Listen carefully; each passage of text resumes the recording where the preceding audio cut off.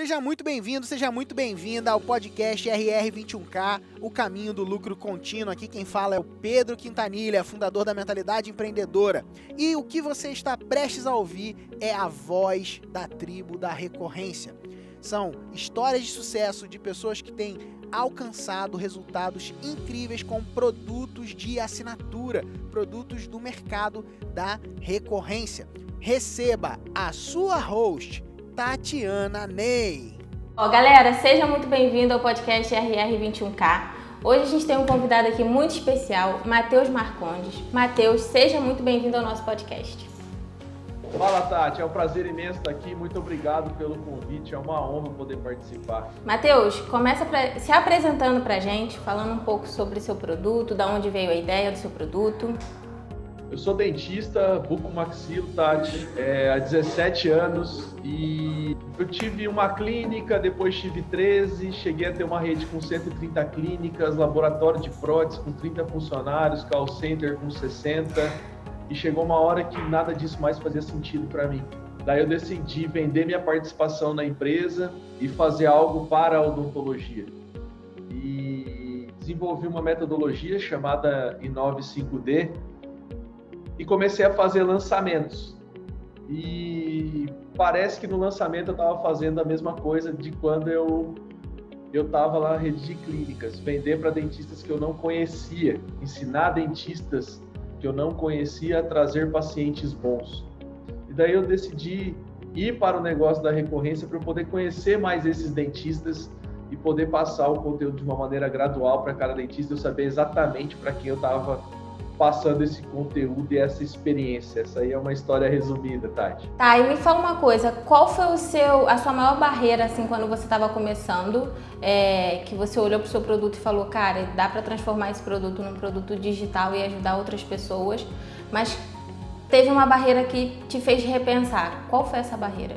Eu digo que o empreendedor todo dia ele pensa que não vai dar certo, né? A gente todo dia acha que a gente vai ter um problema, que a copy está difícil, que o criativo não vai aprovar, que o Facebook vai reprovar os seus anúncios, é, que fulano faltou. Acho que todo dia tem uma dificuldade para nós que somos empreendedores.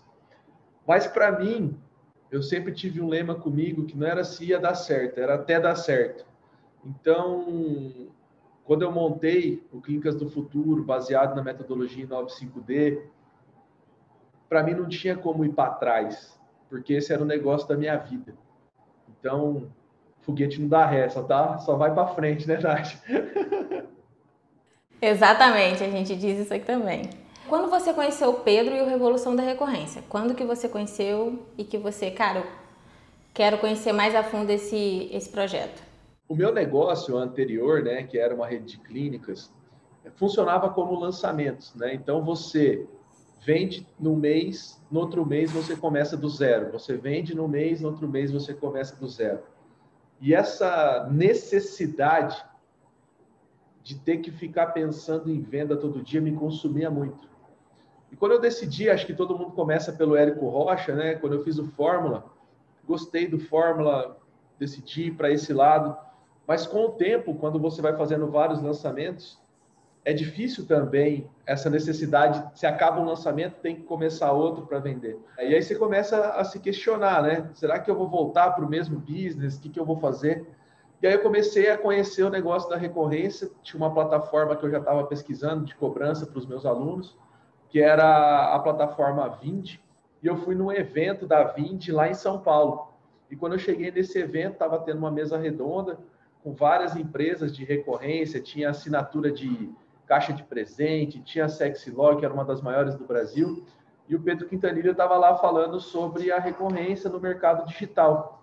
E aquilo conectou comigo, e acho que ele estava em época de lançamento, e eu comprei o curso, acho que ali mesmo, já na, no próprio evento, nem lembro mais quando que eu comprei o curso, é, porque era exatamente aquilo que eu queria, aprender a fazer recorrência dentro do mercado digital. A recorrência no mundo ela é enorme, né? A hora que você começa a conhecer esse mundo, principalmente as empresas de software já já caminham por esse por essa estrada há muito tempo e acho que agora no mercado digital tem muito player indo para esse lado, né? É verdade, as pessoas estão conhecendo esse mundo mesmo da recorrência.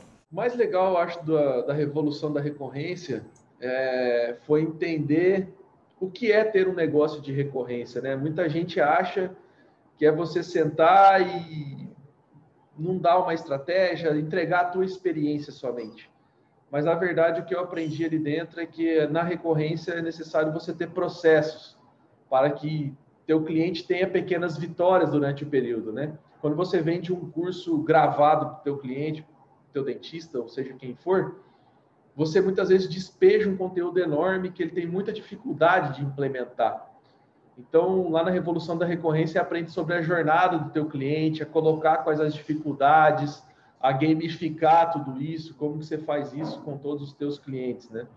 E daí isso te traz uma expertise para você poder modelar o teu negócio dentro dessas divisões. Do meu negócio eu dividi por gorro, né? Todo dentista usa um gorro. Então tem o gorro branco, o gorro amarelo, o gorro verde, o gorro marrom e o gorro preto. E o que eu acho mais legal é, da recorrência nesse modelo de negócio, meu modelo é uma recorrência de mentoria, né? Então toda semana praticamente eu estou ao vivo com os meus alunos. É, ela não é copiável, né? Então ninguém vai conseguir te copiar no negócio de recorrência, porque a entrega é diária, a evolução é diária. Praticamente você cria um conteúdo novo a toda semana. O conteúdo que você deu semana passada não vai ser o mesmo desse porque você vai aprendendo com os alunos, você vai aprendendo com o teu business. É, mas para mim a revolução da recorrência trouxe também a questão da venda todo dia, né? Todo dia você está perto do teu cliente, vender mais para o mesmo cliente, não ter que ir atrás somente de novos clientes. Aprendi também alguns termos que eu acho fundamental para quem vai começar na recorrência aprender, que é a questão do custo de aquisição de cliente, que muda bastante a, a visão, a respeito de lançamentos, né? Então, em lançamento, você pode pagar um custo de aquisição de cliente. Na recorrência, por ter uma previsibilidade de quantos meses esse, esse teu cliente vai ficar, você tem outro custo de aquisição de cliente. Sobre LTV, que é Lifetime Value, quanto que você mantém esse teu cliente dentro do business.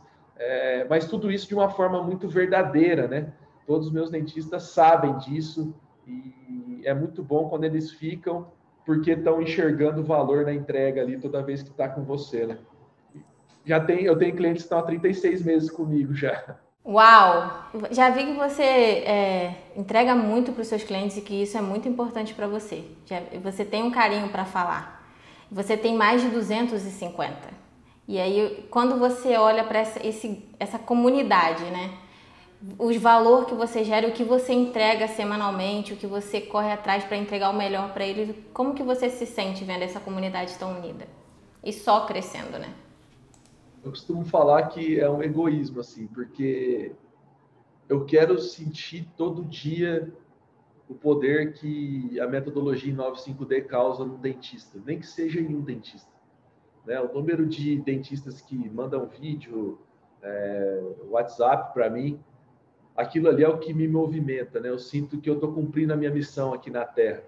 Então, todo dia eu estudo mais, todo dia eu quero aprender mais, todo dia a gente está analisando campanha, a gente está discutindo caso clínico, a gente está discutindo financeiro de clínica.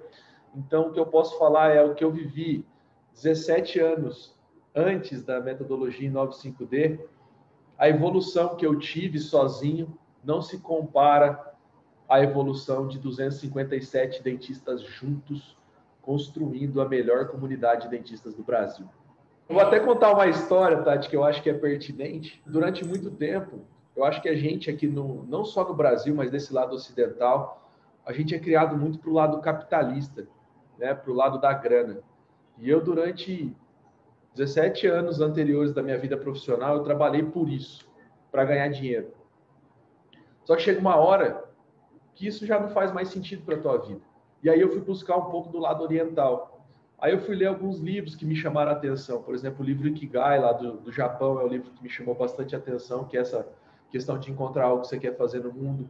É, tem o livro do Simon Sinek, por favor, assistam a palestra dele do TED Talks, que é o Círculo de Ouro, que me ajudou demais a tomar algumas decisões, porque eu tinha algumas opções de vida. Eu tinha investidores querendo abrir rede de clínicas comigo. Eu tinha outras redes de clínica querendo comprar o meu serviço. Mas uma reunião que eu sentei e falei, cara, o meu time, falei, meu, para onde a gente quer ir? Né? O que, que a gente quer fazer? E daí tem um livro chamado Abundância, que é do Peter Diamond, lá da Singularity, que ele fala, não comece um negócio que não for para atingir um bilhão de pessoas. E o único jeito de eu atingir um bilhão de Donas Marias, que é o, era o meu paciente, eu não ia conseguir sozinho, eu não ia conseguir com uma rede de clínicas, eu ia conseguir através de outros dentistas, passando o que eu aprendi para outros dentistas. Então, eu acho que isso trouxe uma base muito boa para a gente conseguir ter força para caminhar, ter força para andar. Então, quando você tem esse, essa questão de propósito, ele perdeu um pouco o sentido, mas a hora que eu vejo, por exemplo, uma marca igual da Patagônia, não a de cerveja, mas a de roupa, que eles fizeram uma campanha, por exemplo, para reformar as roupas que eles tinham vendido há 50 anos, aonde eles fizeram uma campanha para e as roupas deles são feitas para durar para sempre você começa a entender. A hora que eu olho uma empresa como a Tons, por exemplo, que é uma empresa argentina de um americano, aonde para cada sapato que ele fizesse, ele andava na Argentina e via muita gente descalça. Ele decidiu montar uma empresa aonde para cada sapato que ele vendesse, ele ia doar um sapato para uma criança na Argentina. Então você começa a entender que existem outros modelos de negócio que dá para você ganhar dinheiro, mas o dinheiro não é o fim. Né? Você tem uma coisa mais importante lá que é o fim. E parece que quando você faz isso, você para de correr atrás do dinheiro, entendeu? É, é meio uma coisa que junta com a outra e as coisas acontecem de uma maneira mágica. Então, eu acho importante, antes de começar o um negócio, e buscar outras referências, né? Eu tirei um ano sem fazer nada, eu pude fazer isso. E eu li 77 livros num ano, assim. Fui entender, meu, para o que, que eu vou fazer da minha vida agora. Então, hoje, para mim, é muito sereno não é fácil ter uma recorrência. É... Você precisa realmente estar preocupado com o teu cliente, estar engajado com o teu propósito ali do dia a dia, porque a questão de suporte, a questão de organização da empresa, de crescimento dói. Mas a hora que você tem isso enraizado, eu não imagino, por exemplo, esse cara da Patagônia tomando uma decisão numa, num tecido diferente que não seja para durar para sempre. Né? Então fica muito mais fácil as decisões na mesa de reunião quando você tem isso muito bem enraizado dentro da empresa. Né? É, quando você tem seu propósito também muito certeiro, você sabe que é isso que você quer e corre atrás para fazer acontecer. É, é verdade. É, uma, é tipo uma bússola, né? Você tem que saber para onde você está indo. Ah, é. Poxa, nem tinha percebido. Nem precisou estar tá na pele. Porque durante muito tempo eu achei que a velocidade era mais importante. Né? Então eu ia rápido, eu uhum. crescia rápido, minhas empresas cresciam rápido, eu vendia muito, mas sem direção. E às vezes, se você está indo para o abismo, é melhor você ir a pé do que você ir de Porsche, entendeu? Como diria a professora Lucelena Galvão, se estiver indo para o abismo, vai a pé, não precisa ir de Porsche. Sem pressa. No RR, a gente tem como uma meta para o nosso cliente, um objetivo de alcançar 21 mil recorrentes. E você já alcançou esse, esse, esse, esse objetivo. Eu queria saber de você como foi é, quando você alcançou o objetivo de 21 mil recorrentes. Aquele que você não precisa mais correr atrás do zero. Tati, vou falar a verdade para você que aconteceu comigo, tá? É, eu via de alguns lançamentos, né? É, eu fiquei uns cinco meses fazendo o lançamento. E eu tinha um recebível dessa empresa que eu tinha vendido. E daí, a minha esposa falou: não, até março a gente está tranquilo.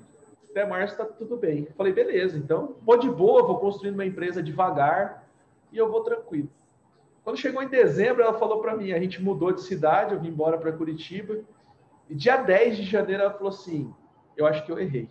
Cara, aquilo eu fiquei desesperado. Falei, minha Nossa Senhora, o que, que eu vou fazer? E daí eu liguei para os meus alunos que tinham solicitado mais o suporte do lançamento, que tinham feito mais coisas. Falei, cara, estou pensando em montar um negócio assim, assim, assado, tal, tal, tal. Então, às vezes, nós, empreendedores, a gente acha que a gente tem que fazer uma coisa do caralho para conseguir vender.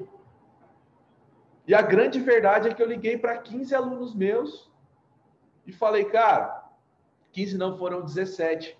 Falei, meu, tô pensando em começar um negócio assim, assim, assado, tal, tal, tal. Eles falaram, meu, a gente está dentro. E era mil reais por mês, é 997 que eu cobrava. Depois, por entração do Pedro, até subiu o valor. Talvez a minha recorrência seja uma das maiores hoje do Brasil, que é 1497. Mas eu sei a transformação que eu entrego. E daí eu liguei para esses caras, no primeiro mês a gente bateu 17k de faturamento. Depois, no segundo mês, a gente bateu, acho que foi para 30 e poucos. E aí você já está mais tranquilo, né? Mas eu acho que a primeira sensação é assim, meu, ferrou. Então você tá aí, cara, às vezes não é um lançamento que você vai fazer, não é nada. É um pegar uma porra de um telefone e ligar para 15 cara, velho. E fala, meu, tô pensando em montar isso, você vai ouvir, ah, eu não acho legal. Aí depois você vai, liga para outro, fala, cara, que massa. E daí você vai lá no teu pitch de venda no telefone, às vezes nem pitch é, eu troco ideia com os caras, como eu estou conversando aqui com você, entendeu? Fala, meu, o que, que você precisa? Estou pensando em montar isso. Então, eu acho que os primeiros 21 mil reais, às vezes você quer fazer com e-book, eu não sei como que a galera está fazendo, você quer fazer com coisa barata. E eu sempre gostei de vender minhas coisas mais caras, porque eu sei aquilo que eu entrego, desde meus tratamentos odontológicos até a minha recorrência. Então, parece contraintuitivo, mas eu sugiro uma recorrência de valor mais alto. É, você acreditar naquilo que você entrega, na transformação que você vai gerar para o seu cliente. É isso aí mesmo. Hoje em dia é, é mais tranquilo, lógico, a gente fica preocupado, né? Tem a questão das renovações, do churn, é, mas eu acho que com a recorrência você tem um controle mais da, da, da. Acho que a galera que já busca a recorrência já é uma galera que já está mais nessa visão de vida, né? Então, eu acho que a uhum. recorrência também tem uma vibe, que você quer participar daquilo, você não quer, um, você não quer fazer um, um 6 em 7, né? Você quer fazer um 6, 12, todo mês receber aqueles seis dígitos lá, né? Então, a vibe é diferente, a construção do business é diferente. Para mim, várias coisas mudaram, mas eu acho que também tem a ver com a fase de vida que você está passando. Acho que teve fase de vida que eu queria viver lançamento, eu queria adrenalina do lançamento, eu queria aquilo. Hoje, com 38 anos, eu já quero, cara, não, calma, não preciso crescer tanto, vamos devagar, vamos melhorar nosso produto. Contrata uma pessoa, contrata duas. Então, acho que com a recorrência, você tem mais chão para tomar as decisões da tua empresa, né? Você foi uma pessoa que começou assim, como você mesmo falou, cara, eu vou, é, eu vou, eu vou, é isso, sem medo, sem mas para as pessoas que estão com aquele pé atrás que todo empreendedor tem, qual seria o conselho que você daria assim? Que um desses eu tenho certeza que é esse seu lema. Mas qual seria o outro assim, cara, vai com tudo? Tati, vou falar uma coisa para você. Vou ser bem honesto. Eu sempre gostei de estar do lado de pessoas melhores do que eu. Então procura a melhor pessoa do mercado para estar tá segurando na tua mão do teu lado. Se você quer lançamento, vai com o Érico. Se você quer tal coisa, vai com o fulano. Se você quer recorrência, vai com o Pedro, cara. Porque ali você vai ter o caminho que você quer seguir. E para mim, não é medo ou sem medo. Se realmente a recorrência for tua vida, se realmente a recorrência você sentir que vai entregar a transformação para o teu cliente dia a dia, mês a mês, que ele tem coisas para aprender com você, não tem como dar errado. Com o processo que você aprende lá na Revolução da Recorrência, com os documentos que tem lá, com a organização que o Pedro te entrega, com a, experiência que ele tem de outros programas de mentoria que ele participa, é, fica muito mais fácil você enxergar o caminho, né? Você ter os atalhos. Então, eu escolhi ter pessoas melhores do que eu desde quando eu comecei. Então, eu tive os meus melhores professores de cirurgia, tive os melhores funcionários na minha clínica, muito melhores do que eu, tive melhores dentistas trabalhando para mim. Hoje, as pessoas que trabalham comigo são melhores do que eu. E eu aprendo com o Pedro a respeito da recorrência, que ele é muito melhor do que eu nisso aí, entendeu? Então, procure as pessoas que são melhores do que você, porque você pode talvez fazer 10 anos em um mês. Uau! Muito bom. Bem, nossa conversa está chegando ao final. Eu queria que você agora falasse assim para as pessoas que estão te ouvindo, se quiserem te procurar, procurar sobre o seu método I95D, onde que elas, como que elas podem te encontrar e aonde. Cara, mesmo que que não for para o método I95D, se você acredita na mesma coisa que eu acredito, é, que é deixar um legado, que é construir algo que seja realmente verdadeiro, me manda um direct lá no Instagram, me conta a tua história, com certeza a gente vai se conectar. Meu Instagram é Mateus S. Marcontes, com TH, é só me procurar lá. Se quiser, tiver alguma dúvida a respeito é, do negócio de recorrência, eu não sei nem se eu sou uma referência para isso aí, porque é, a gente não pensa no negócio da recorrência, né? A gente pensa entregar o melhor para o nosso cliente. Então, às vezes você fica muito fora também é, dos mercados, né? Da, de conversar com outras pessoas que têm o mesmo modelo de negócio. É por isso eu fui para a mentoria com o Pedro. É, agora a gente está conversando para entrar lá no Mastermind, mas eu acho que tudo são momentos certos. Mas se você acredita no que eu falei aqui, se realmente esse é o teu modelo de negócio, ter o maior prazer em te ajudar no que for necessário. E eu brinco, que eu falo assim, Tati, enquanto a natureza e a odontologia estiverem precisando de um homem, podem contar comigo que eu estarei aqui de prontidão. Muito bom, muito bom, muito bom. Obrigada, Matheus, obrigada pela sua participação, tá bom? Um beijo e a gente se vê por aí. Valeu, Tati, um abraço. Tchau, tchau.